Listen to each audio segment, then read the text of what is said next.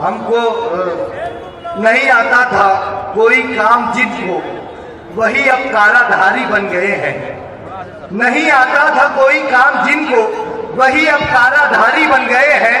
गया है शेर जब से छुट्टियों पर, लकर बग्घे शिकारी बन गए हैं। अब आखिरी पूरे जितने लोग यहाँ पर बैठे हुए हैं। आपकी मोहब्बत इन दो मिसरों में सिमट कर आनी चाहिए कि हमको गीदड़ और घोड़ों का फ़र्क समझ में आता है। हमको गीदड़ और घोड़ों का फ़र्क समझ में आता है। शेर किसी भी नस्ल का हो वो शेर ही कहलाता है। जोरदार तालियाँ जोरदार तालियों से आपके हमारे महबूब लीडर जनाब ये देखिए दोस्तों चूँकि पूरे शहर में हम जितने भी लोग इस फैमिली शेख रसी साहब, फैमिली से शेख रसी साहब से मोहब्बत करते थे तो उन तमाम लोगों के सरदार अली जनाब शेख रशीद साहब रहे, जब तक वो हयात रहे। अब वो अल्लाह के जवान रहमत में जा चुके हैं तो अब पूरे शहर की जानब से, यहाँ कुछ लोग साफा पहनाएँगे सरदारी का अली जनाब आसिफ शेख रशीद साहब को, हम शेख रशीद साहब का जानसीब और अपने लोगों का सरदार मुंतखब करते हैं। अली जनाब मोहतरम आसिफ शेख रशीद साहब को तो मैं गुजारिश कर रहा हूँ, शकील साहब और ये शहर में जितने जिम्मेदार आप खड़े हो जाए सब लोग खड़े हो जाएँगे। और मैं गुजारिश करता हूँ कि अब यहाँ से हम लोगों के सरदार हम लोगों के कायद हम लोगों के लीडर खाली जनाब कायद नज़र आसिफ शेख रशीद साहब होंगे। तो मैं ओ भैया ओ भैया नीचे नीचे। हाँ। तो जोरदार तालियाँ होनी चाहिए। उसी के साथ साथ जलील मैं गुजारिश करता हूँ आप भी यहाँ पर आए जलील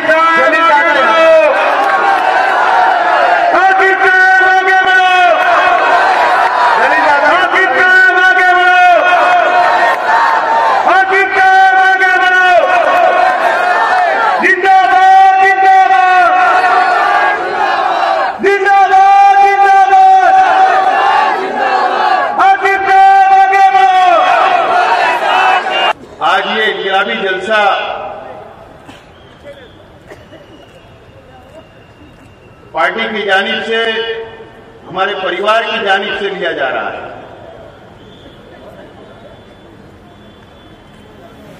शेख रशीद साहब के इंतकाल के बाद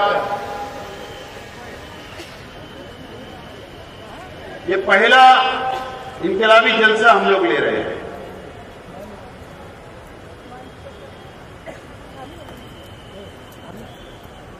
और जब भी पार्टी का जलसा हुआ करता था तो शेख रशीद साहब बिल्कुल हमारे पीछे कुर्सी लगाकर बैठा कर बैठा किया करते थे। और हमारी रहनुमाई किया करते थे। और अगर हमारे तकरीर के अंदर कोई गलत जुमला अगर निकल जाता था तो बाद में शेख रशीद साहब आवाम से माफ़ी मांग लिया करते थे और उसको दुरुस्त करने का काम किया करते थे। लेकिन आज शेख रशीद साहब हमारे बीच में नहीं है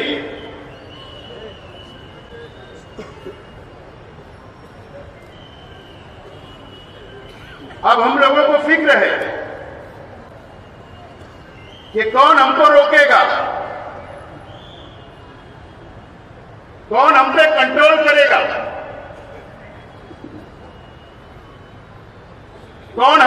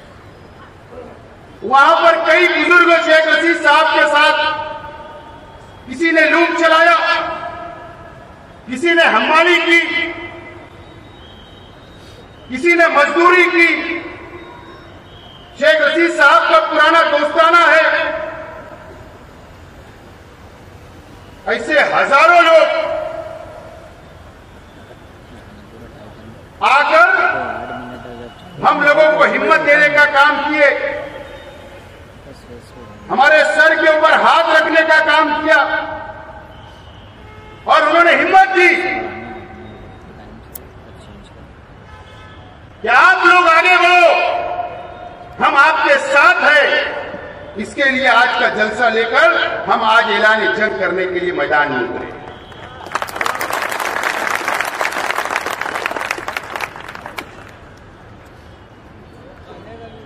शेख रशीद साहब के एक विचार एक सोच रही चालीस साल शेख रशीद साहब ने इस शहर के अंदर सियासत की म्यूनिसिपल काउंसिलर से लेकर एमएलए तक मेयर तक शेख रशीद साहब ने इस शहर के अंदर नुमाइंदगी की। सियासत की मैं समझता हूँ कि निहाल अहमद साहब के बाद शेख रशीद साहब का नंबर लगता है जो 40 साल इस शहर के अंदर शेख रशीद साहब ने सियासत की और कामयाब सियासत की क्या वजह शेख रशीद साहब ने कभी भी अपना माजी नहीं भूला शेख रशीद साहब ने कभी भी अपने वो साथ में लूम चलाए हुए उनके साथियों को कभी नहीं भूला शेख रशीद साहब ने कभी ये नहीं भूला कि मेरे साथ पावर लूम चलाया करते थे कभी शेख रशीद साहब ने ये नहीं भूला कि मेरे साथ कभी हमाली किया करते थे शेख रशीद साहब ने कभी ये नहीं भूला कि देहातों के अंदर जब शेख रशीद साहब चूड़ी बेचने जाया करते थे तो बेडशीट का और चादर का धंधा करने वाले शेख रशीद साहब के साथ फेरी पे जाया करते थे, कभी उनको नहीं भूला। इसके लिए 40 साल ये शहर के अंदर शेख रशीद साहब ने सियासत गरीबों को कभी नहीं भूला। झोपड़पट्टी की आवाम को कभी नहीं भूला। हमेशा उनको साथ लेकर चलने का काम शेख रशीद साहब ने 40 बरस किया और शेख रशीद साहब इस दुनिया से चले गए। और ये मंच में बैठे हुए लोग, ऐसे कई हमारे साबिक कारपोरेटर आज बैठे शेख रशीद साहब ने किसी को कारपोरेटर बनाने का काम किया। शेख रशीद साहब ने किसी को स्टैंडिंग चेयरमैन बनाने का काम किया अनेक लोग हैं शेख रशीद साहब ने अनेक लोगों के ऊपर कई लोगों को पहुँचाने का काम किया। अपने साना बसाना साथ लेकर चलते रहे। और इसीलिए आज ये पूरा मंच इस बात की गवाही दे रहा है कि नहीं शेख रशीद साहब नहीं है तो भी हम आपके साथ हैं, आपके परिवार के साथ। हैं अगर शेख रशीद साहब अपनी ज़िंदगी में इन लोगों के साथ अगर गलत किया करते तो आज ये लोग बैठे बैठते नहीं, बल्कि चले जाते थे कि अब शेख रशीद साहब गए आपको भी टाटा बाबा हमको कर देते थे। लेकिन आज क्यों बैठे? ये हिम्मत देने के लिए बैठे हैं। ये शहर के आवाम को ये मैसेज देने के लिए बैठे हैं कि हम शेख रशीद परिवार के साथ, मजबूती के साथ खड़े हैं। ये मैसेज देने के लिए लोग बैठे हुए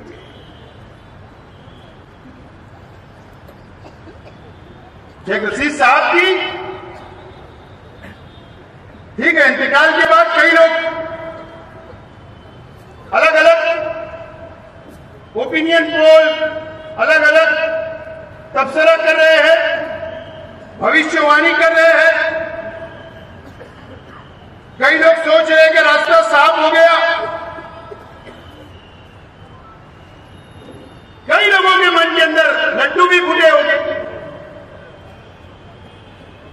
और ये शहर के सामने धीरे धीरे बात सामने आ रही है।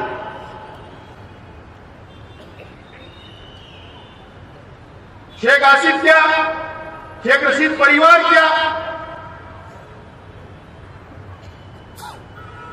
जिस बाप ने 40 साल इस शहर के अंदर राज किया, उस बाप की औलाद हम है, याद रखें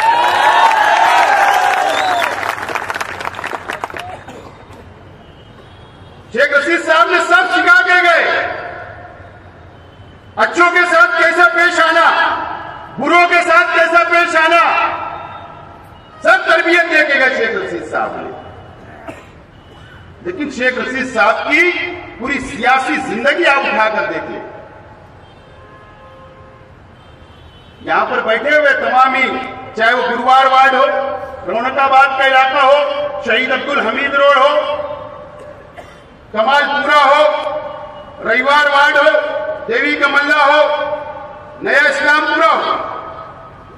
पूरे शहर के लोग यहाँ पर बैठे हुए थे। शेख रशीद साहब ने कभी आपकी वोटों का सौदा नहीं किया। कभी भी आपकी वोटों को ले जाकर कहीं बेचा नहीं। और न तो हमारे मुखालिफ में जितने लीडरान है, जो कुछ भविष्यवाणी कर रहे हैं ओपिनियन पोल जारी कर रहे हैं, कभी शेख आसिफ हारा तो हरे गुलाल के अंदर खेलने वाले भी ये शहर में देखा है। अपनी कार्बोहाइड्रेट शीट का सौदा एमएलए में मदद करने के लिए आपके ऑटो का सौदा मेयर की कुर्सी बेच दी गई। उसका सौदा किया गया। हर वक्त तुम्हारी ऑटो का सौदा किया जाता। भाव लगाया जाता। आपकी ऑटो को बेच दिया जाता। आपको कभी खबर नहीं होती, लेकिन शेख रशीद साहब ने और शेख रशीद साहब के परिवार ने कभी भी आपकी ऑटो का सौदा नहीं किया। आज मैं कसम खाकर बोलता हूँ। आज आपसे वादा करता हूँ कि शेख रशीद साहब ने आपकी कभी ऑटो का सौदा नहीं किया। ये शेख आसिफ भी आपकी कभी ऑटो का सौदा नहीं करेगा।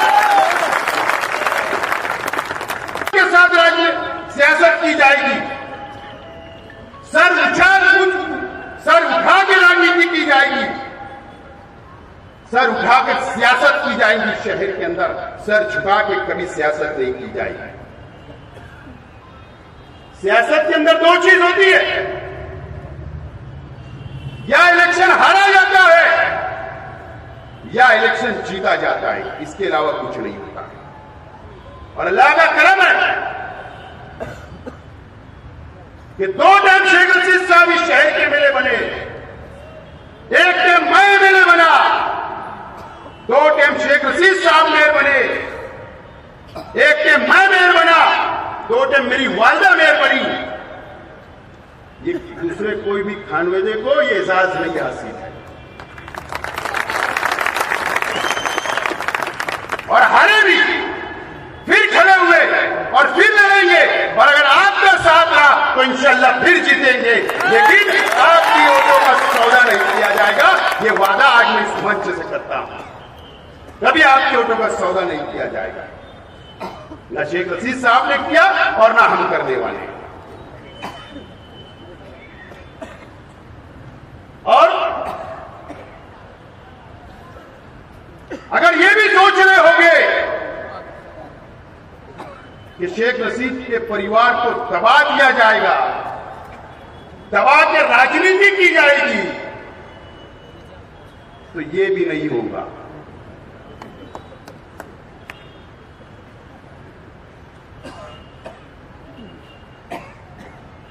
ना हम आपसे दबने वाले हैं ना आपसे हम डरने वाले हैं और ना हम कभी झुकने वाले हैं और अल्लाह का करम है शेख रशीद साहब ने भी सेंट्रल जेल देखा था शेख खलील साहब ने भी सेंट्रल जेल देखा शेख जलील साहब ने भी सेंट्रल जेल देखा आज हाजी ने भी जेल देखा और शेख आसिफ ने भी सेंट्रल जेल देख के आया है। इसके लिए हम डरने वाले नहीं।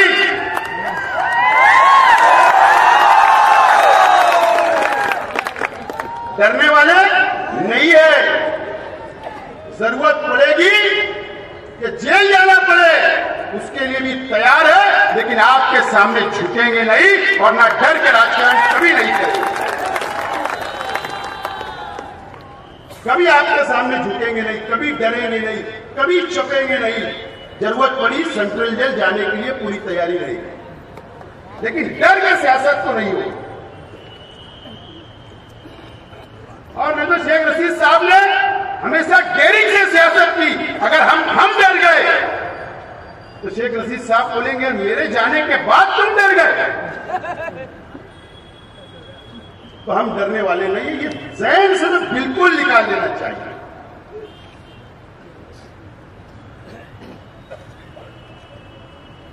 ये हमारी अपनी पॉलिसी रहेगी मैं पॉलिसी डिक्लेयर कर रहा हूँ आज शहर के सामने। पॉलिसी डिक्लेयर कर रहा हूँ, पॉलिसी। आने वाला लायमल मैं बता रहा हूँ, हमारे मुखालफिन को भी और शहर की आवाम को भी और आप लोगों को भी। कि ये आज की जो तकरीर होगी, आज की जो पॉलिसी हम डिक्लेयर कर रहे हैं, आज का जो लाएमल हम डिक्लेयर कर रहे हैं, उसी लाएमल के ऊपर चलेंगे और उसी के ऊपर सियासत करेंगे। और शेख रशीद साहब ने जो हमको सिखाया कि गरीबों को साथ लेकर चलो और उनके सुख और दुख में शामिल हो, हम वही करेंगे जो शेख रशीद साहब ने हमको सिखा कर गए। ये हमारी अपनी पॉलिसी और ये हमारा लाएमल होगा। और पुलिस डिपार्टमेंट भी जरा खुफिया विभाग थोड़ा सी एक्टिव कर दो। पुलिस डिपार्टमेंट खुफिया विभाग जरा एक्टिव कर दो। मैं कोई तनकीद आज पुलिस डिपार्टमेंट से नहीं कर रहा। पुलिस डिपार्टमेंट में मैं कोई तनकीद आज नहीं करना चाहता।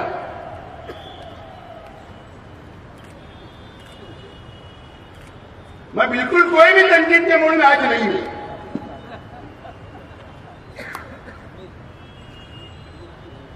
लेकिन पुलिस डिपार्टमेंट भी हमारे मुखालफिन के ऊपर नज़र रखे।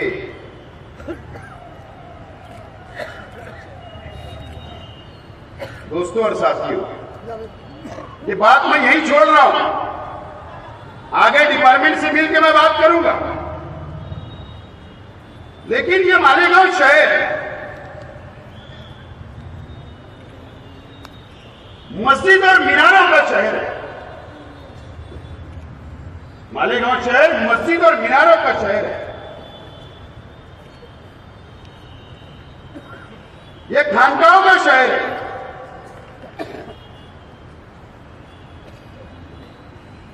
यहाँ पर हिंदुस्तान की वो हर दीनी तंजीम की ऑफिसेस है, तंजीमें हैं और उसमें अल्लाह का करम है। अल्लाह का एहसान है कि बहुत बड़ी तादाद उलमाओं की उसके अंदर, तंजीम के अंदर, ये शहर के अंदर काम करती है। मदारिस बहुत है यहाँ पर, लड़कियों के, लड़कों के। अल्लाह का बहुत एहसान है, हमको इस शहर के ऊपर फक्र है।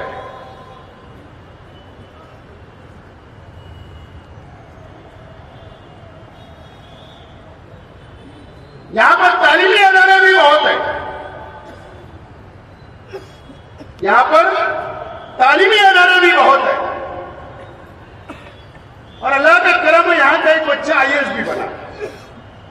हमारा नाम, हमारे शहर का बहुत ऊँचा मुकाम है, हिंदुस्तान के अंदर, मुल्क के अंदर, दुनिया के अंदर।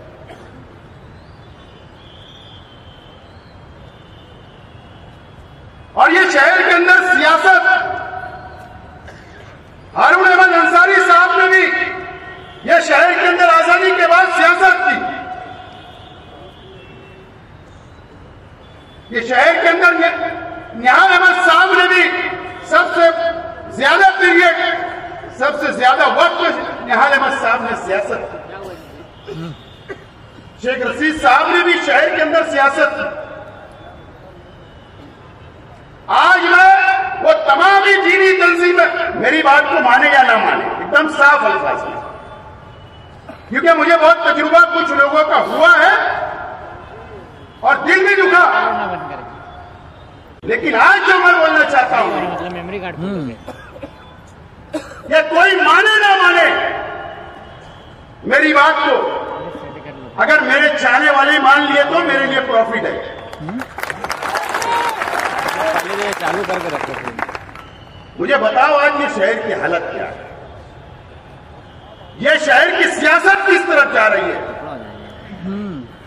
मेरा सवाल है इस शहर के तमाम ही दीनी तंजीम के जिम्मेदारान से, तालीमी अदारों से ये शहर के मोतबर लोगों से, तमाम ही बिरादरियों के तमाम ही रिकॉर्ड इस पे कर लेना और ये शहर की आवाम से मेरा सवाल है कि आज ये शहर की सियासत किस रास्ते के ऊपर जा रही है? आज मेरा आप लोगों से सवाल है। ये बहुत दिन बाद जलसा हो रहा है। ना? बहुत दिन बाद मैं तकरीर कर रहा हूँ बड़े मंच से। थोड़ी देर बोलेंगे। ये शहर की सियासत किस रूप के ऊपर जा रही है। पूरा फिट करके फिर ये शहर की सियासत फिरका परस्तों के गुलामी की तरफ़ फिरका परस्तों के सामने झुक कर गुलामी की तरफ़ यह शहर की सियासत जा रही है। और अफसोस कि शहर का एमएलए एक आलिम दीन है और उसके बावजूद फिरका परिस्तों के सामने गुलामी की सियासत ये शहर के अंदर और यहाँ का मुसलमान में खुले हाँ। गुलामी की तरफ़ लेकर जाया जा रहा है। मैं इस मालेगांव तालुके के हिंदू भाइयों से मुझे कोई एतराज़ नहीं है। मेरे जितना मैं मुसलमानों को मानता हूँ, उतना मैं हिंदू भाइयों को भी मानता हूँ। लेकिन अगर कुछ सियासी लोग, अगर हिंदू और मुसलमान लड़ाई की बात कर रहे या मुसलमानों को कुछ फिरका परस्त पार्टियों के लोग चलो पाँच सेकंड अगर दबाने की कोशिश की जा रही है, मुसलमानों को गुलाम बनाने की कोशिश की जा रही है तो आवाज़ कौन उठाएगी? बता रहे हो भाई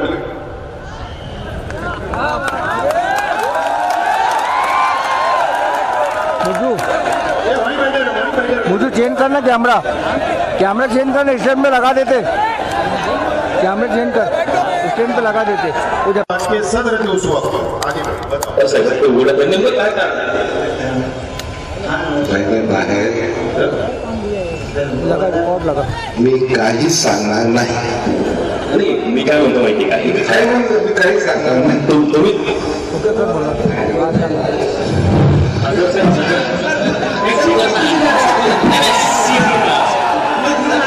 नाही, हमारे आ- आगे ये ये नियाज जलील साहब है एमआईएम के मेंबर ऑफ़ गए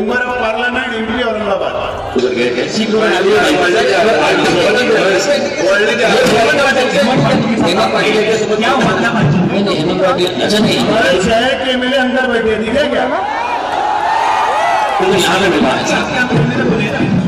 नहीं हमारा नहीं हमारा हमारा उनके साथ कोई नहीं यहाँ पे मिले हैं? वो रेस्टोरेंट अभी हम सीट को जा रहे हैं ना, वहाँ पे आ गई हमारी एक गाड़ी तो आगे चली गई है।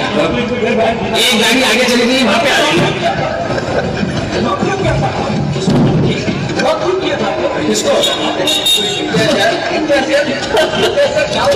और इनको, इनके पास से वो टैक्सी में जा रहे हैं, बात ध्यान रखें। इनके पास गाड़ी नहीं है। टैक्सी में मुंबई में घूम रहे हैं, आगे बढ़ो।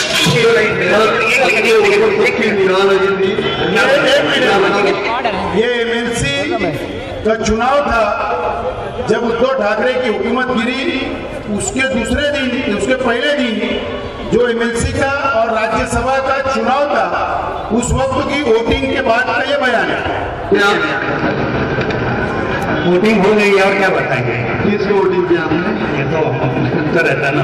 वोटिंग का मतलब ही ये है कि किसको वोटिंग दी गई है उसको बताया नहीं वोटिंग का मतलब ये होता है इतनी एहतियात के साथ जो है वोटिंग की जाती है। को दिया है। महाविकास आघाड़ी को समर्थन दिया के शिवसेना का अभी आप मुझसे क्या लगता है कौन ये तो ऊपर वाला? ऊपर वाले को तो आपने किया है। बात है वोट तो बहुत लोगों ने किया जिसको ज़्यादा मिलेगी वो अपने को समर्थन किया था आप माविका नागरिक को वोट दिया है। हमारी पार्टी के जो महाराष्ट्र प्रदेश अध्यक्ष है इंचार्ज जलील साहब ने कल रात में आप लोगों से बात कर ली है। उनसे बात किया उन्होंने आपको बता दिया उसमें मैं ज्यादा कुछ नहीं बता सकता। विधानसभा अध्यक्ष निवडणुकीमध्ये गैरहजर राहणारे एमआयएमचे आमदार मौलाना मुफ्ती मोहम्मद आपल्याबरोबर आहेत. त्यांनी नुकतीच मुख्यमंत्र्यांची भेट घेतलेली आहे. शिंदे गटाचे आमदार ज्या ठिकाणी आहेत त्याच ठिकाणी हे आमदार आलेले होते. आपण निवडणुकीसाठी गैरहजर राहतात आणि इकडे शिंदे गटातील आमदारांची भेट घेत आहे भागना फोड़ मैं मालेगांव था और मुझे हज के लिए जाना है। हज के ताल्लुक से जो पेपर वर्क था, उस ताल्लुक से मुझे हज हाउस में बुलाया गया था। मुझे ऐसा लग रहा था कि दस पंद्रह मिनट का काम होगा, वो निपटा के मैं आ जाता मैं वहाँ गया तो जो लोग बुलाए थे, वही लोग मौजूद हाजिर नहीं थे। तो मुझको आने में देर हुई, इसलिए मैं हाउस में तो नहीं था। मुझे हज पर जाना है, मैं कल भी नहीं रहूँगा। आज रात मेरे से मेरी रवानगी। तो ये हुआ कि किसी को ऐसा नहीं लगे कि ये दोनों दिन गैर हाजिर थे सीएम साहब जो है कम से कम उनके कान पर बात आ जाए कि मैं नहीं हूँ हज पे जा रहा हूँ इसलिए नहीं। नहीं और मुबारकबादी देने के लिए आया था और मेरा कल गैर हाजिर रहूँगा मैं तो उनको मालूम रहना चाहिए। म्हणजे उद्याला बहुमत असले होणार तेव्हा पण तुम्ही राहणार नाही वहाँ पर ये अभी उन्होंने क्या बोला कि मैं हज पे जा उस वक्त तो ये जानबूझकर मेरा मानना है, ये लेट पहुँचे हज का बहाना बताकर असेंबली के अंदर हाजिर नहीं हुए और ये गैर हाजिर थे। हाउस में नहीं गए। बीजेपी और सिंधे हुकूमत के खिलाफ में इन्होंने वोट नहीं की। ये बाहर गए और उसके बाद ये एक होटल के अंदर जहाँ पर सिंधे साहब सीएम है, उनके एमएलए के साथ जो शिवसेना के एमएलए लोग फाइव स्टार होटल में रुके थे ये वहाँ जाकर बोलते हैं कि मैं उनसे मिला, मुलाकात करने के लिए आया हूँ। कहीं उनकी गलत समझ ना बन जाए। मुझे ये बताओ कि असदुद्दीन अवैसी तुम्हारा लीडर है या सिंधे साहब तुम्हारे लीडर है? उनकी गलत समझ क्यों बनेगी? तो इसका मतलब सेना और भाजपा के साथ मिले भगत थी ये बिल्कुल ज़ाहिर होता है। आगे बताओ ये हमारे मिनिस्टर साहब दादा साहब। पालक मंत्री है वो भी आए हुए थे उनके सामने स्टेटमेंट हुए। उस अनुसार हम वहाँ पर गुना दाखिल करते हुए छावनी पुलिस स्टेशन कॉलेज के अंदर जो कैरियर गाइडेंस का प्रोग्राम था कैरियर गाइडेंस का प्रोग्राम था वहाँ पर कुछ मुस्लिम स्कॉलर एजुकेटेड लोग जो लेक्चर देने के लिए मिर्ची में आए थे उनके ऊपर धर्म परिवर्तन का इल्ज़ाम हंगामा हुआ था। फिरका परस्त तंजीमों ने हंगामा किया था उसके ऊपर जो पुलिस स्टेशन के अंदर गुना दाखिल करने का जो वक्त था, उस वक्त हमारे पालक मंत्री दादा भूसे साहब पुलिस डिपार्टमेंट के साथ में बैठकर उनको हुक्म जो दे रहे थे मैं बताना चाहता हूँ। बाद मैं पूरी बात करूँगा। और यहाँ पर हमें पता चलता है कि कैंप पुलिस स्टेशन में जबानी बदलने का काम चल रहा है। वो हमें पता चला, हम यहाँ पर आए और वो देखा तो हमें सब समझ में आया। यहाँ पर मंत्री साहब को बुलाया, सब वरिष्ठ आए और एस पी साहब आए, सब आए। उन्होंने फिर वो स्टेटमेंट वो खुद बैठकर उन्होंने स्टेटमेंट जबानी ली और जबाबामध्ये घेण्यात आलं सदर मुस्लिम धर्माबाबत अथवा मुस्लिम धर्माविषयी मन परिवर्तन करण्याबाबत कोणतेही भाषण झाले नाही. तुम्ही त्याच्यात काय आक्षेप करायचा जरी प्रयत्न केला ना तर माझ्याकडे माहिती आहे. ज्या प्राचार्याने ज्या संस्थेने परवानगी दिली त्याला बाजूला करता तुम्हाला काही हिंदूंच्या स्तुती दिसल्या का तिकडे? साडेनऊ वाजेपर्यंत तुम्ही अं, दळण दळून राहिले. बारा वाजेची घटना रात्रीचे साडेनऊ झाले एक मिनट एक मिनट। मंत्री महोदय ये बोल रहे हैं, पुलिस डिपार्टमेंट को कि साढ़े बारह बजे की घटना दोपहर की। रात में साढ़े आठ बज गए। अतः आतापर्यंत तुम्ही एफ़ आय आर का वर नहीं केला क्यों तुमने गुना दाखिल नहीं किया वो स्कॉलर लोगों के ऊपर ये आदेश दे रहे आगे बताओ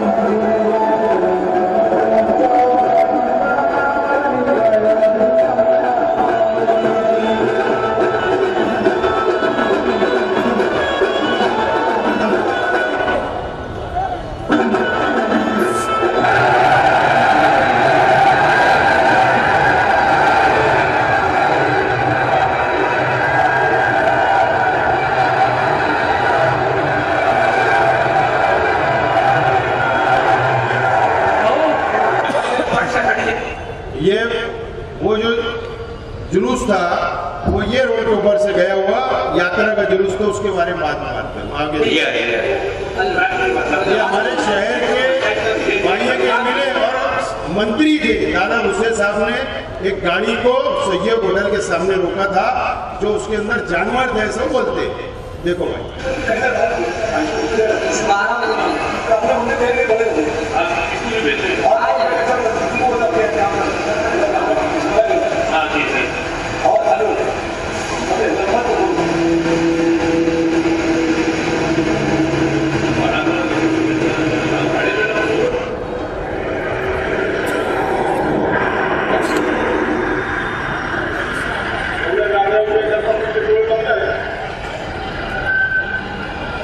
ठीक है लास्ट है नहीं ठीक है ओके दोस्तों और साथी अभी और एक वीडियो रहेंगे रुको दोस्तों और साथियों मैं इसके लिए बता रहा हूँ आज आप लोगों को शहर के आवाम को स्क्रीन के ज़रिए इसलिए मैं बता रहा हूँ मैंने इसलिए पहले शुरुआत ये की कि शहर कहाँ जा रहा है। शहर कहाँ जा रहा है? दादा, मुझे साहब, आप पालक मंत्री हो। मेरा कोई जाति आपसे झगड़ा नहीं है। हमारे विचार अलग है, हमारी सोच अलग है। मैं सेकुलर विचार रखने वाला हूँ और आपकी पार्टी के तो पूरी दुनिया को मालूम है। आप अपने हर तकरीर के अंदर ये बोलते हो कि शहर की तकदीर बदल जाएगी 2024 में शहर का विकास हो जाएगा शहर का नक्शा बदल जाएगा आपकी जो रिकॉर्डिंग रिकॉर्ड है ना आप चार साल से कोई बजा रहे हो ये यूट्यूब वाले तुम मैं बोलना चाहता हूँ आप भी यही बता रहे हो ये जा तकरीर में खड़े रहे चेहरा मोरा बदलता विकास होईल शहरात बुनकरों की मीटिंग के अंदर बुनकर की बात छोड़ दिए। बोले, शहर का चेहरा मोड़ा बदल जाएगा। आप अपने विकास के ऊपर, आपके डेवलपमेंट के ऊपर इतना दम है तो विकास और डेवलप के नाम पर वोट मांगो, मुसलमानों की बलि चलाकर आप वोट मत मांगो। भाई को हिंदू और मुसलमानों को लड़ाते हो? ये शहर की परंपरा है। आज की भी पचास साल की ये देवी का रात आता है हमारी खानदान से। हमारे खानदान से हिंदू भाई आते और इस शहर से जाते हैं। यहाँ का मुसलमान उनको शरबत पिलाता है। यहाँ का मुसलमान उनको पानी पिलाता है। उनके लिए नाश्ते का इंतज़ाम करता है। एक खत्तर भी नहीं गए, एक खत्तर आज। इतना इतराम करते हम। भाईचारा इतना है। क्या ज़रूरत पड़ गई इन दो सालों के अंदर आपको? क्या आपकी पार्टी के लोग बुरा दादा है? तो चालीस को फाटे के ऊपर आप जमा होते हो। पूरे तालुके के अंदर आप सोशल मीडिया के ऊपर पोस्ट वायरल करते हो। कि वहाँ जमा हो जाओ? हमारा पवित्र महीना चलता, रमज़ान महीना। और हज़ारों की तादाद के अंदर आप इस शहर से गुजरते हो, हमको गुजरने में कोई दुश्वारी नहीं है। हमको कोई एतराज़ नहीं है। हम कल भी इस्तेमाल करते थे, आज भी इस्तेमाल करेंगे, कल भी पानी पिलाते थे, आज भी शरबत पिलाएँगे। इतराज ये है कि आपकी पार्टी के लोग शहर का लेनवल खराब करते भी जाओगे, गलत सलत नारे लगाते जाओगे। शकावत के सामने दुकानों का तोड़फोड़ करते जाएँगे।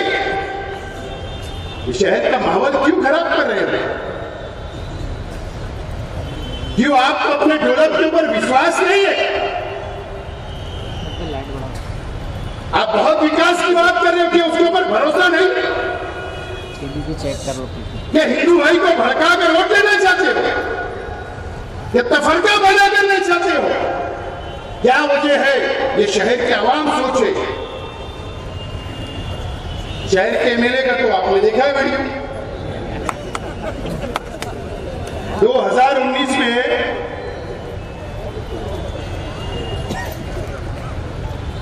जैसे इस्लाम की तलवार यही निकाल दी गई थी। अगर मैं कांग्रेस पार्टी से उम्मीदवार था तो मेरे पे ये इल्ज़ाम था। कि मेरी पार्टी के लीडर मंदिर का घंटा बजाते हैं। इस तरीके की तकरीर की गई। मुसलमानों को वर्गाया गया। कौम और मिल्लत के नाम पर वोट मांगी गई। उसके बाद तुमने इस शहर के मुसलमानों का सौदा किया। ये चार सालों के अंदर हमारे शहर के दीनी तंजीमों को सोचना पड़ेगा। शेख हसीम एक अकेला ये शहर में नहीं रहता। आप मेरा भरोसा नहीं करोगे, मुझे कोई फ़र्क नहीं पड़ेगा।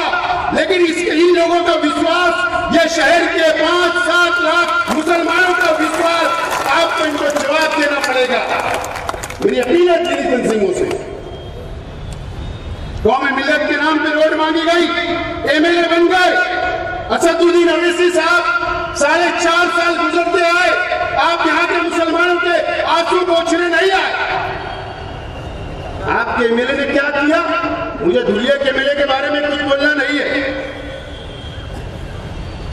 मैं मालेगांव में रहता हूँ। मैं मेरे शहर में सोचूँगा। क्या किया? है आपको। वो हिमंत पाटिल शिवसेना का एमएलए जो आज के मुख्यमंत्री के पार्टी का एमपी है। इम्तियाज़ जलील साहब औरंगाबाद के इमाम के वहाँ के मुसलमानों ने अपने जेब का पैसा लगाकर हमारी माँ बहनों ने दुआएँ की रोजा रखा इम्तियाज़ जलील साहब को भी उन्होंने एमपी बनाया, एमपी। दुश्मनी नहीं वहाँ। क्यों इनके पास इतनी भीख लग गई कि इनके पास गाड़ी नहीं है? शहर में तो चर्च पर स्टिकर लगा के पचपच गाड़ी औरंगाबाद के अंदर तो स्टिकर लगा के गाड़ियों में घूमते आप। पचास पचास लाख की गाड़ियों में। क्या वजह है कि मुंबई के अंदर आप टैक्सी से सफ़र किया? आपने आपके सामने वीडियो, इस चैनल की वीडियो है। होटल के अंदर बैठकर मीटिंग की गई। मीटिंग की गई। डीलिंग की गई।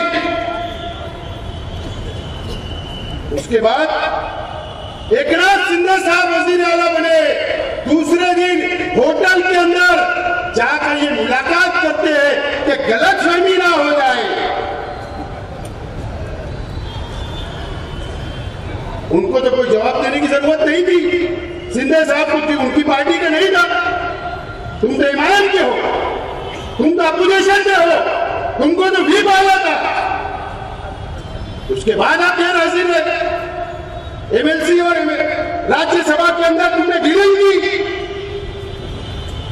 तुम मुंबई के अंदर बैठकर, होटलों के अंदर बैठकर डीलिंग करते हो टैक्सी में घूमते हो, ये शहर के और इस मुसलमानों की वोट का सौदा करते हो। कब ये शहर जवाब पूछेगा? कब उनका सवाल किया जाएगा? अगर दादा मुझसे साहब इतने जिम्मेदार नहीं है ये शहर के एमएलए उतने जिम्मेदार है। अगर मॉप लिंचिंग हो रही कुरैश बिरादरी के जिम्मेदार यहाँ बैठे यहाँ पर कुरैश बिरादरी के जिम्मेदार यहाँ पर बैठे हुए हैं। अगर कुरैश भाइयों, कुरैश बिरादरी के नौजवानों को जानवर लाने के ऊपर अगर हमारे शहर के मंत्री महोदय अगर आप गाड़ी रोककर, अगर उनको आप मारते हो, आप गाड़ी जमा कराते हो तो फिरका प्लस तंजीमों को ले, लोग जो है, पूरे तालुके के अंदर उस वक्त से मॉक लिंचिंग की वारदात ये शहर में पड़ी, लेकिन एमएलए का मुँह असम्बली में भी नहीं खुला और यहाँ पर भी नहीं खुला।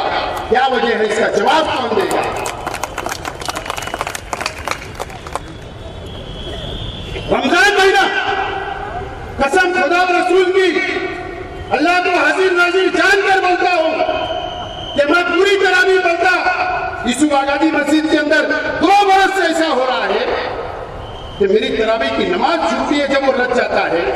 शेख रशीद साहब अपनी रिक्शा के अंदर जब वो रात आया तो शेख रशीद साहब मगरीब के बाद रोजा उन्होंने ऑफ़िस में खोल कर गए और रात के थोड़ी दूर के ऊपर चलते रहे कि कोई हादसा ना हो जाए। और मैं यहाँ पर अपनी टू व्हीलर के ऊपर घूमता रहा, जब तक वो क्रॉस नहीं हो गए बस स्टैंड शहर को संभालने की कोशिश की, लेकिन इतना बड़ी इतनी गुलामी कि तुम एक आवाज़ नहीं उठा सकते।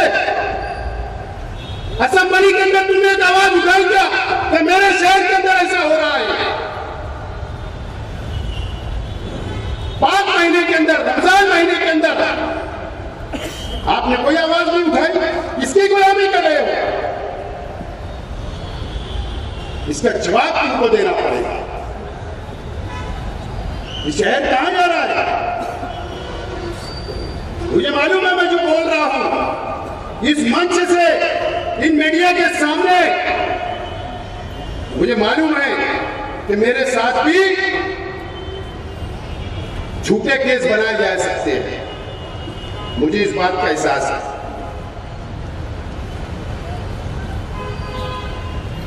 झूठे केस मुझ पर भी बनाए जा सकते हैं। मेरे पे भी कार्रवाई की जा सकती है।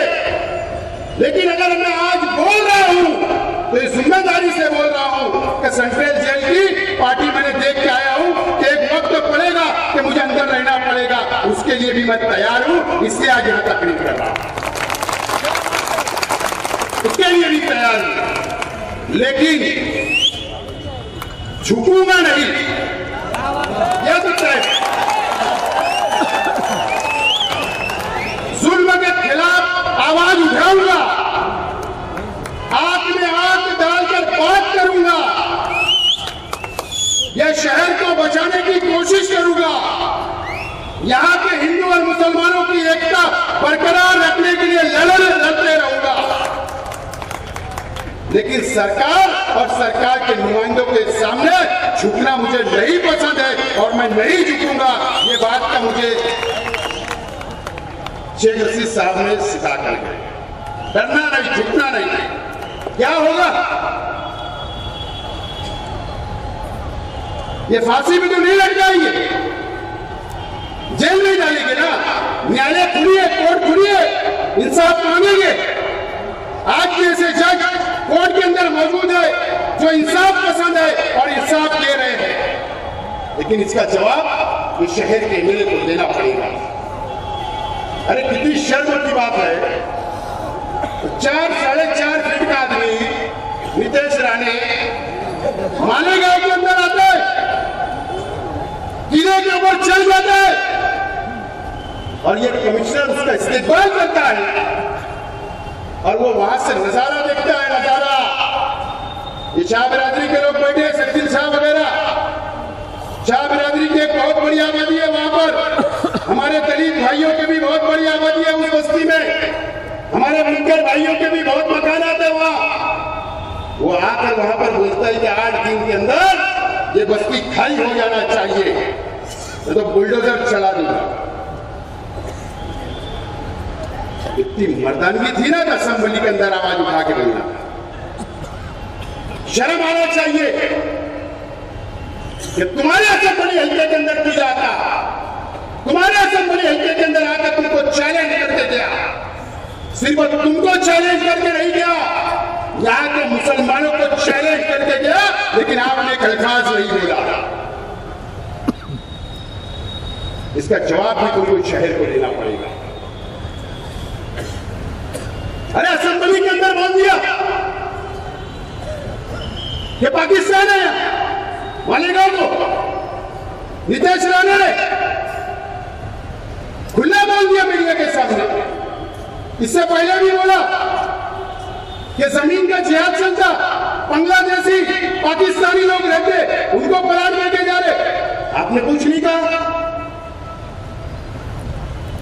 अरे क्या दुश्मन बना रहे हो इस शहर को? आपकी ज़िम्मेदारी है। ये शहर की आवाम ने आपको ओढ़ दिया। आपको असेंबली के अंदर भेजा। इसके लिए नहीं कि आप के अंदर बैठ के शिवसेना के साथ सौदेबाजी करो? इसके लिए क्या आवाज़ उठाने के लिए भेजा गया था? खामोश आप। अरे वो चैलेंज करके जाता है इंसान। और आप खामोश है, ये शहर का नुमाइंदा खामोश कौन देगा इसका जवाब? कब सवाल पूछेगा ये शहर? आपको सवाल पूछना पड़ेगा। पूछेंगे आप। ये साल इलेक्शन साल है। पार्लियामेंट कारपोरेशन असेंबली 2024 में तीन इलेक्शन आने वाले हैं। और ये शहर का इम्तिहान है। और साथ साथ में शहर की दीनी तंजीमों का भी इम्तिहान है। ये शहर की आवाम के सामने। मेरे सामने दो मैं नाराज़ हूँ। आप मुझे जवाब दे नहीं हो सकते। लेकिन ये शहर को आप जवाब देंगे आपको जवाब देना पड़ेगा। शेख आसिफ कब्रस्तान का मामला उठाता है तो बोलते सियासत है। अरे अल्लाह ने है। कोई आगे नहीं है। मैं कोई तनकीद नहीं कर रहा हूँ, अच्छे लोग भी है। दीनी तंजीमों में अच्छे लोग भी है। लेकिन उनको कुछ लोग मिसगाइड करके रास्ता बदल देते हैं। डरा दिया जाता है उन लोगों को। अगर मेरी बात खराब लग रही तो मैं माफ़ी माँगता है, ना तो कल तनकीद शुरू हालाँकि शेख रशीद साहब ने बोले भाई तनकीद आएँगे, तनकीद करेंगे। कर रहे थे। मैं भी एकदम मज़बूत हो गया, आज कितनी तनकीद आती सब तैयार है मेरी लेकिन इम्तिहान है। और अब तुमको इम्तिहान लेना है। क्या होगा? आपके हाथ में फैसला शहर की आवाम के साथ हाथ में या हरा दोगे हमारी पार्टी को, या जिता दोगे फैसला आपको है। और नहीं तो ऐसी बुजिल बन के रहो, सर झुका के रहो, जुल्म के खिलाफ मत बोलो, जुल्म होता हुआ मत देखो। शहर को लूटा जा रहा है, खामोश रहो। कारपोरेशन को लूटा जा रहा है। अरे, तुम्हारा पैसा है, तुम्हारा। तुम्हारा टैक्स का पैसा तुम कारपोरेशन में घर पट्टी, नल पट्टी प्रॉपर्टी टैक्स भरते हो। वो पैसा जो जमा हुआ, मालूम है तुमको ये दो सालों के अंदर क्या हुआ? बाकी मुकरीन ने बताया अरे शेख रशीद साहब का और अगर शिवसेना से अगर कोई झगड़ा शुरू हुआ तो किस वजह से हुआ पता है? सौ करोड़ रुपया मंजूर हुआ। हुकूमत से। करने के लिए मैं हिंदू मुसलमानों की बात नहीं रहा। इसके लिए नहीं। ठेकेदारी करना के लोगों को। मालूम है? चौरासी करोड़ रुपया मंत्री महोदय ने लेके चले। गए हिस्से में कितना आया? सिर्फ़ सोलह करोड़। सोलह नहीं मेरे ख्याल चौदह ही आया है उसमें हिसाब में कारपोरेशन का हिस्सा कितना था मालूम है तीस करोड़ तीस करोड़ वो सौ करोड़ में हमको भी आना था अरे अगर तीस करोड़ भी मंजूर हो जाते तो हमको समाधान रहता इतमान रहता नहीं। तीस तो मिला। लूटमार हो गई। एमएलए खामोश। आज तो कोई मेयर नहीं है, कोई कारपोरेटर नहीं, कोई स्टैंडिंग चेयरमैन नहीं, कोई डिप्टी मेयर नहीं, सिर्फ़ एमएलए। जिसकी पकड़ कारपोरेशन में होना चाहिए, कमिश्नर पे दबाव होना चाहिए। अभी पचास करोड़ मंजूर आया मुझको भी बोला गया था कि एक करोड़ आपको देते, आप नाम बता दो। मुझको बोला गया था। मतलब कितने देर बोले एक करोड़ मुझे नहीं होना मतलब प्रपोजल कितने का बोले पचास का। मतलब पंद्रह का। हमारा ही जा रहा है। पंद्रह देंगे तो बात करो। अरे, इन्होंने ले लिए। सात करोड़ में कंप्रोमाइज कर दिया, सात करोड़ में।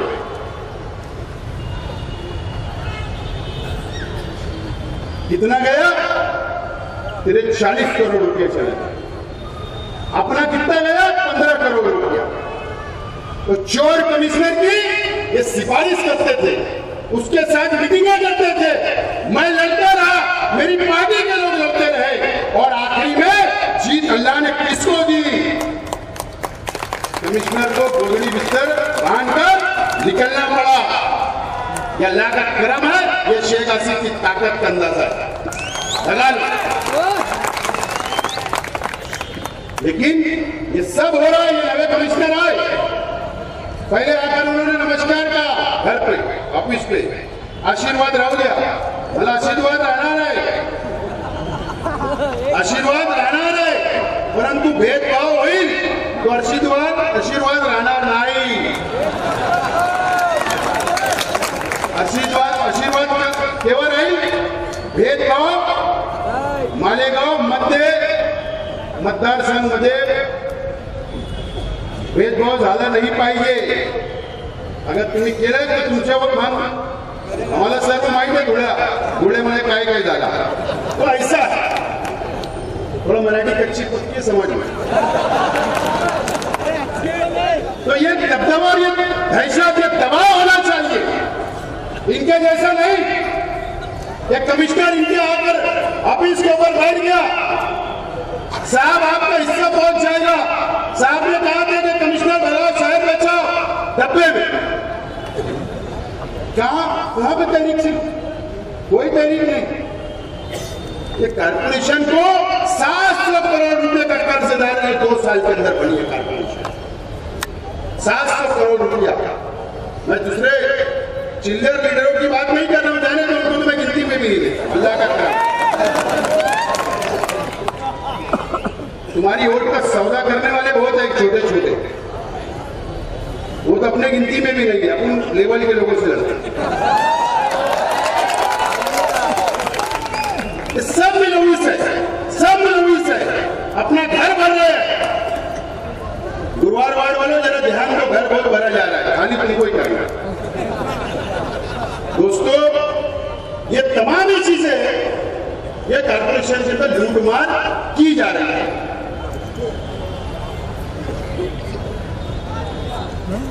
मेरा सवाल है, शहर के आवाम से आपको बदला लेना है। आपको हिसाब लेना है।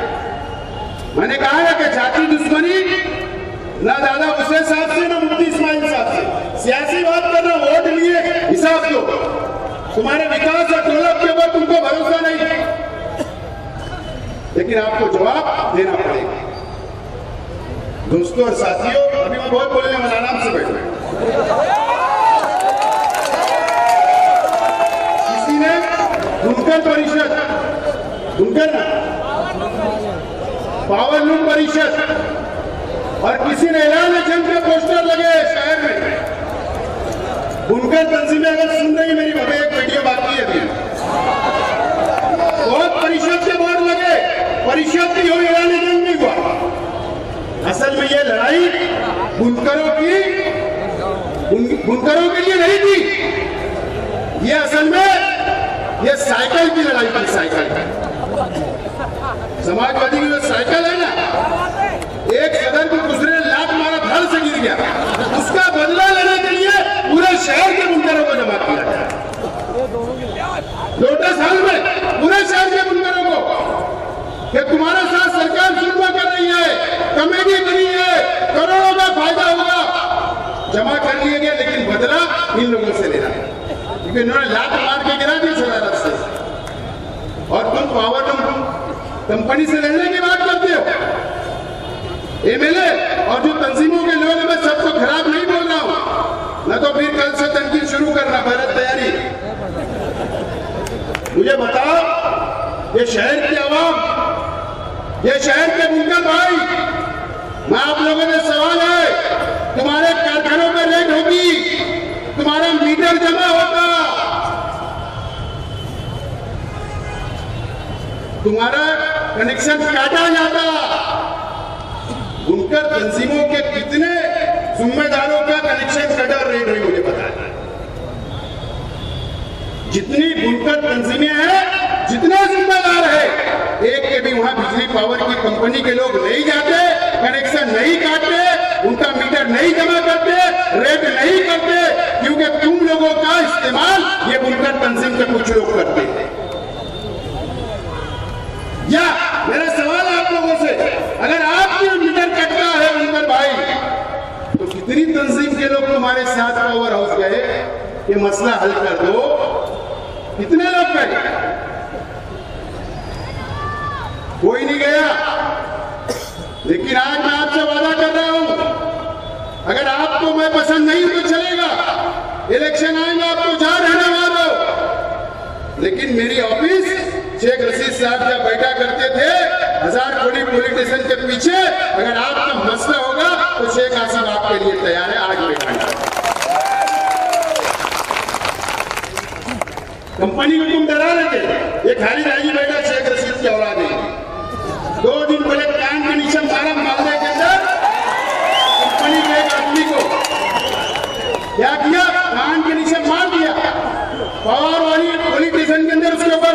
राइट का गुना दाखिल हो गया मार ठोक का गुना दाखिल हो गया पुलिस को फ़ोन किया। पीआई साहब मतलब मेरा जलसा है। गुना दाखिल हुआ ना मतलब मैं ये नहीं बोलूँगा क्या? मत करो। ये हफ़्ते के अंदर खाली दादी और उसके साथी आके अटैक हो जाएँगे, कोर्ट में भेज देना, जमानत करा लेंगे। इसको बोलते इसको बोलते हैं जेल भी जाना पड़े, मारना पड़े, मार भी खाना पड़े, उसके लिए तैयार होना पड़ता होगा। मैक्सी उठा के भागने से नुमाइंदगी नहीं मैक्सी उठा के सर्वे नंबर 10 के अंदर भागने से नुमाइंदगी नहीं होती है मर्दा मर्द वाली बात करना पड़ता है सियासत में अस्तीन चलाना पड़ता है तो ये सब कुछ आइटम ये सब क्वालिटी मंच के ऊपर मौजूद है। अब शहर को क्या फैसला करना कर लो। हम लोग चलेंगे। तो बोलो, हम तैयार है। नहीं चलेंगे तो शहर तैयार हो जाए ये कंपनी क्या? ऐसी दस कंपनी को भी हम लोग जूते की नोक पे रखते हैं और उसको मुकाबला करने के लिए लेकिन हाँ दिन ही वही बात नहीं। पावर लूम तंजीमें अगर आएँगे तो अगर मैं जेल गया तो तुमको भी चलना पड़ेगा अगर तुम बोलेगे मैं कपड़ा संभालूँगा तू ना ऐसा नहीं लड़ाई सब साथ में सब जेल में सब जेल में ये तमाम ही। चीज़ें ये शहर के लिए ज़रूरी है। मैं न्याय साहब को भी उनके वक्त हमारे मुखालिफ रहे शेख रशीद साहब के मुखालिफ रहे। लेकिन उन्होंने दबदबा बनाया। सच्चाई बोल रहा हूँ। काबे की तरफ़ रू है मेरा। शेख रशीद साहब का भी दबदबा था। लेकिन तुम्हारा दबदबा खत्म हो चुका। तुम्हारा तो दबदबा ही नहीं था। तुम अगर पुलिस से डर के भागोगे कंपनी से डर के भागोगे, मंत्री के दबाव में रहोगे शहर के अंदर चलने उलने वाला नहीं है। लेकिन मैं आपसे वादा करता हूँ दोस्तों, सर झुकने नहीं दूँगा कोर्ट का सौदा नहीं करूँगा। सर, तुम्हारा भी ऊँचा रहे हमारा भी रहे। और ये शहर में सियासत की जाएगी, गरीबों को लेकर चला जाएगा, आपके लिए इंसाफ के लिए लड़ा जाएगा आपके मसाइल हल किए जाएँगे आपका सुख और दुख में शामिल हो गए शेख रशीद साहब जैसे आपको लेकर चलते थे। वैसा लेकर चलेंगे। आपको कोई काम है तो मेरी ऑफ़िस। आप खुलिए शेख रशीद साहब जहाँ बैठते वहाँ पर खुलिए दोस्तों और साथियों, कई लोग आए। अब आखिरी है कई लोग ढूंढ रहे होंगे। कई हमारे यूट्यूब वालों को, बिचारों को बोले कोई वीडियो तो शूटिंग करके लाना बोले होंगे ना ये आए बोला था सेक्स से रहते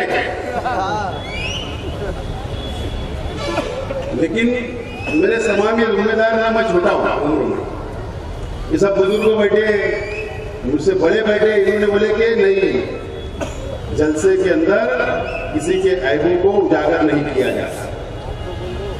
मैंने इनकी बात को मान लिया।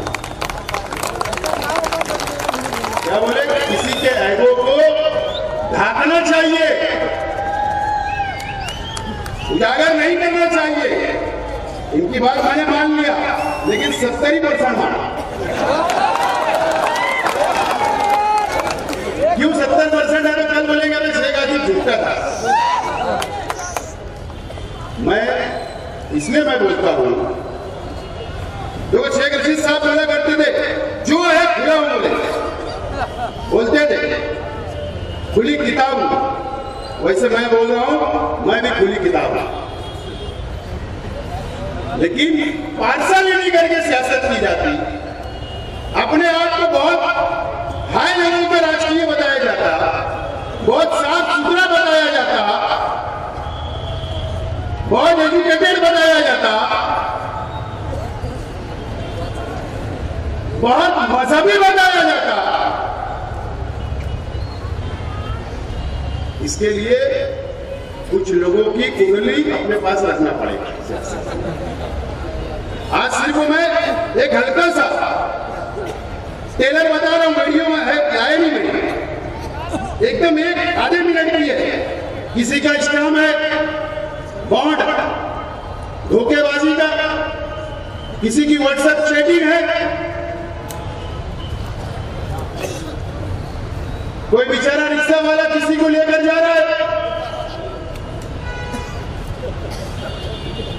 ऐसे कुछ चीज़ें है। किसी ने धोखा दिया शादी के बहाने से। और मैंने बोला, नहीं कि सेवेंटी पार्ट सेवेंटी परसेंट बात सुनो, बेटी रोक लिया लेकिन अगर वक्त पड़ा तो बता दूँगा। बता रहे बेटे ये रोक रोक के बता ये जरा मैंने दूसरे कर दिया मुझे कानून के मुताबिक आगे बढ़ा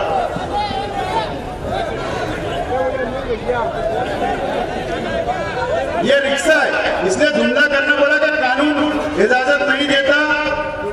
एक लेडीज़ बैठी है, रिक्शा ड्राइवर है, और भी अंदर है। आगे बढ़ो। ये व्हाट्सएप चैटिंग है। व्हाट्सएप चैटिंग है? रिकॉर्डिंग है वीडियो है, सब कुछ है। आगे। ये बॉन्ड है धोखेबाजी, रंग। ये ऐसे चीज़ है। और मेरे पास कई लोग चल कर आए। जिनके जिनके साथ जुल्म हुआ। चल कर आए मटेरियल दिए वीडियो दिए चैटिंग दिए स्टैम्प दिए ये शहर के लीडरान की बात कर रहा है। कोई कुत्ता गोली खाने वाले की बात नहीं कर रहा? ये शहर है हमारा। कब आवाज़ उठेंगी? कब आवाज़ उठाओगे? ये आप लोगों से मेरा सवाल है।